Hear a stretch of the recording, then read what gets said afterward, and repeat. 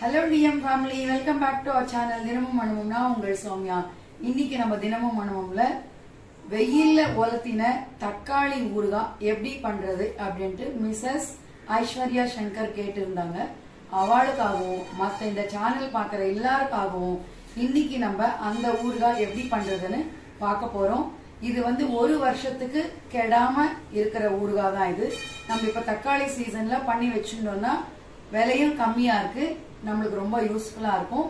இதான நம்மளுக்கு நம்ம பிக் சப்போர்ட்டர் மிஸ்ஸஸ் ரேவதி சக்கரவர்த்தி ஒரிஜினல் ஆந்திரா ஸ்டைல்ல இந்த ஊறுகாய் நம்மளுக்காக போட்டு வீடியோ அமைச்சிருக்கா.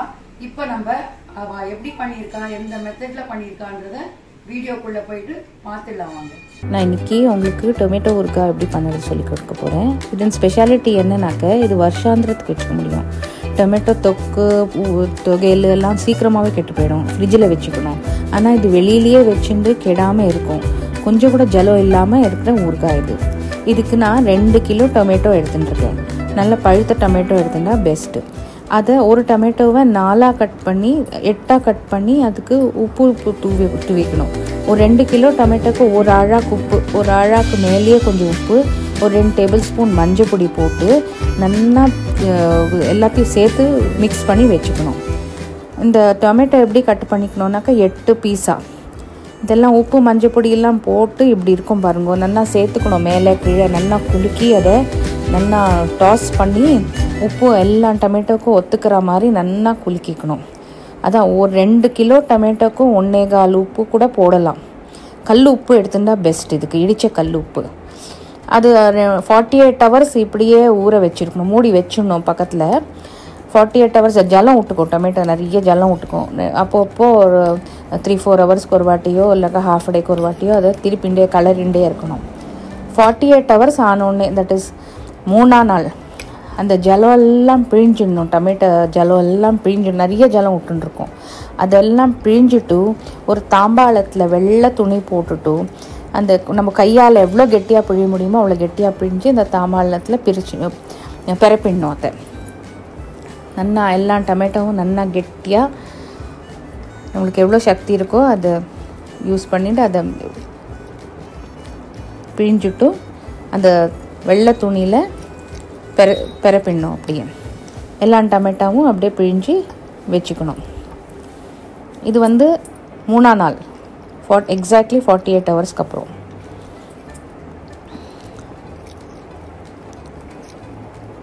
இது மாதிரி எல்லா டொமேட்டோவும் கெட்டியாக பிழிஞ்சு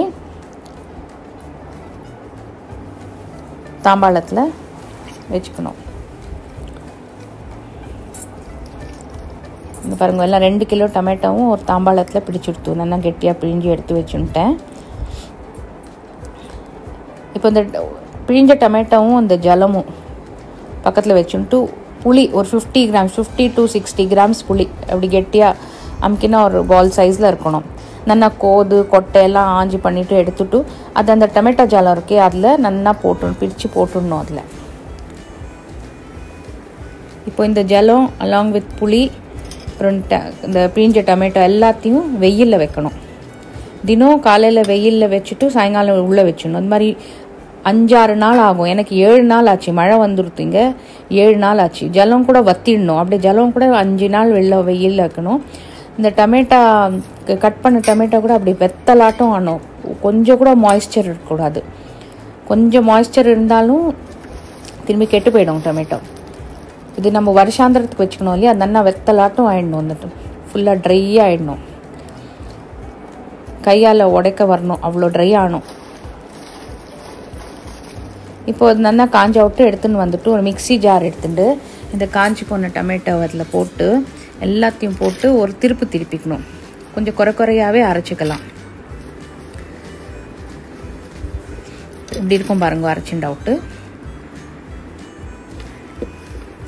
அதுலேயே அந்த ஊற வச்ச புளி இருக்கு இல்லையா அந்த ஜலம் பாதிக்கு வத்திரும். அந்த புளி ஜலம் புளி எல்லாம் இழுத்துன்றோம். அந்த புளியும் அதில் சேர்த்துண்டு ரெண்டுத்தையும் நல்லா வழுமூணு அரைச்சிடணும். புளியும் அந்த ட்ரைட் டொமேட்டோவும் அரைச்சி பக்கத்தில் எடுத்து வச்சுக்கணும். அப்புறம் மெந்தியம் ஒரு ரெண்டு டேபிள் ஸ்பூன் மெந்தியம். நல்லா கருப்பாக வதக்கிக்கணும். கருப்பான ப்ரௌனாக வதக்கிக்கணும். நாட் கருப்பாக ப்ரௌனாக வதக்கணும் பக்கத்தாத்துக்கு வரணும் வாசனை. நம்ம வதக்கிறது ஒரு டேபிள் ஸ்பூன் கடுகு கூட வறுத்து வச்சுக்கணும். ஸோ நம்மளுக்கு தேவையான சாமான் வந்து கடுகு பொடி மெந்திய பொடி இந்த அரைச்சி வச்சின உழுது இந்த டொமேட்டோ ஜலம் இது மெந்திய பொடி நல்லா பொடி பண்ணி வச்சுன்ட்டு ஆறினா விட்டு காரப்பொடி ஒன்றரை கப்பு காரப்பொடி ஒரு டேபிள் ஸ்பூன் கடுகு பொடி ஒன் ஒரு கப்பு எண்ணெய் ஒன்றரை கப்பு எண்ணெய் கூட போட்டுக்கலாம். பெருங்காயம் ஒரு எட்டோ பத்தோ மிளகா காஞ்ச மிளகா கடுகு கருவேப்பிலை. கருவேப்பிலை நல்லா அலம்பி தொட காஞ்ச கருவேப்பிலை எடுத்துக்கணும். அந்த ஒரு கப்பு எண்ணெயை வானாலியில் விட்டுண்டு நிறையா கடுகு ஒரு ஒன்றரை டேபிள் ஸ்பூன் கடுகு போட்டுட்டு கடுகு வெடிக்கிறதுக்கு வெயிட் பண்ணோம். அந்த கடுகு வெடிக்கிறதுக்குள்ள கடுகு வெடிக்கிறதுக்கு கொஞ்சம் டைம் ஆகும் இல்லையா? அதுக்குள்ளேயே நம்ம என்ன பண்ணலான்னா இந்த அடிச்சு வச்சிருந்த உழுது இருக்கையா புளி புளி அப்புறம் டொமேட்டோ உழுது. அது அந்த ஜலம் டொமேட்டோ ஜலம் இருக்கு அதில் சேர்த்துடணும். சேர்த்துட்டு நல்லா மிக்ஸ் பண்ணிக்கணும்.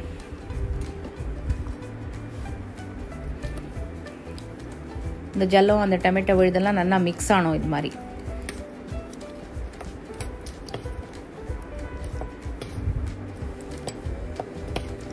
இந்த ரெண்டு கிலோ டொமேட்டோக்கு நான் வந்து ஒரு வரங்கல் ஒன்றரை கப்பு வரங்கல் மிர்ச்சி பவுடர்.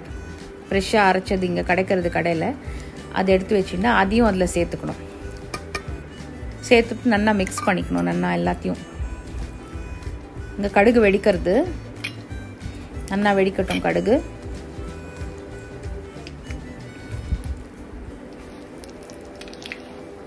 நான் இதுக்கு செக்கில் அடித்த நல்லெண்ணெய் எடுத்துட்டு இருக்கேன் ஊறுகாக்கெலாம் நல்லெண்ணெய் போட்டால் தான் வாசனையாக நல்லா இருக்கும். நல்லெண்ணெய் தான் போடணும் ஊறுகாக்கெலாம் ஃபைவ் டேபிள் ஸ்பூன்ஸ் பெருங்காயம் நிறைய பெருங்காயம் நல்லா வீடெல்லாம் வாசனை தூக்கணும். அப்படி அவ்வளோ பெருங்காயம் போடணும். நிறைய பெருங்காயம் போட்டால் தான் இந்த ஊறுகாய் வாசனையாக நல்லா இருக்கும் ரொம்ப நாள்.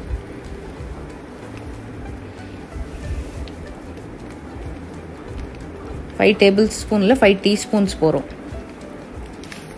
காஞ்ச மிளகா ஒரு எட்டோ பத்தோ காஞ்ச மிளகா. இந்த காஞ்ச மிளகா வரப்பட்டோம்.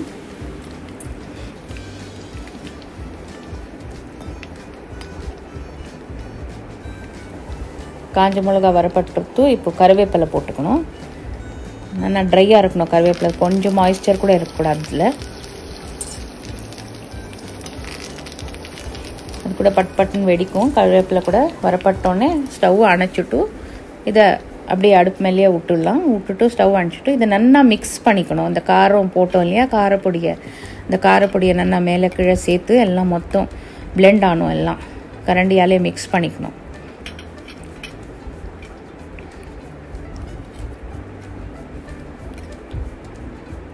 அந்த மெந்திய பொடி ரெண்டு டேபிள் ஸ்பூன் மெந்திய பொடி வச்சுருக்கோம் இல்லையா? அதையும் சேர்த்துக்கணும். மெந்தியம் நல்லா ஆறினா விட்டு பவுடர் பண்ணிக்கணும். ஒன் ஒரு ஒரு டேபிள் ஸ்பூன் கடுகு பொடி அதையும் போட்டுண்டு மிக்ஸ் பண்ணிக்கணும் நல்லா.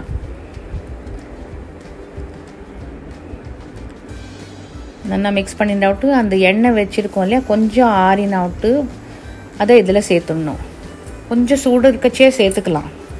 ரொம்ப சில்லுண்டு இல்லாமல் கொஞ்சம் சூடு இல்லா சூடு இருக்கச்சே சேர்த்துக்கலாம். ரொம்ப கொதிக்க கொதிக்க சேர்க்கக்கூடாது. கொஞ்சம் ஆறட்டும். கை பொறுக்க சூடு இருக்கட்டும். அது சேர்த்துட்டு நல்லா எல்லாத்தையும் மிக்ஸ் பண்ணிக்கணும். இது மாதிரி பண்ணிண்டா இது வருஷாந்திரத்துக்கு இருக்கும். கிடவே கெ- கெடாது. வெளியிலேயே வச்சுக்கலாம்.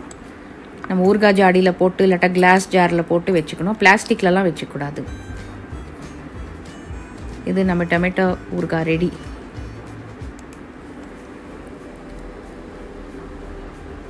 நீங்களும் பண்ணி பாருங்க. ரொம்ப டேஸ்டியாக இருக்கும்.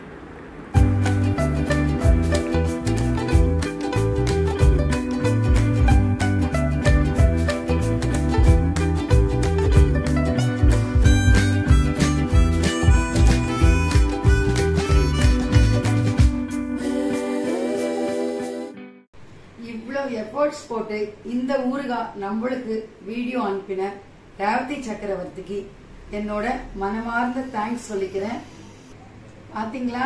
வெயில்ல உலர்த்தின தக்காளி வத்தல் ஊறுகாய் எவ்வளவு ஈஸியா எவ்வளவு டேஸ்டியா பண்றதுன்ட்டு. என்ன ஃப்ரெண்ட்ஸ் இந்த வீடியோ உங்களுக்கு பிடிச்சிருக்கா? பிடிச்சிருக்கனா லைக் பண்ணுங்க கமெண்ட் பண்ணுங்க ஷேர் பண்ணுங்க. மறக்காம நம்ம தினமும் மனமும் சேனலை சப்ஸ்கிரைப் பண்ணி சப்போர்ட் பண்ணுங்க. அடுத்த ஒரு விறுவிறுப்பான வீடியோல உங்களை மீட் பண்ற வரைக்கும் உங்கள் Soumya tata bye bye thank you for வாட்சிங்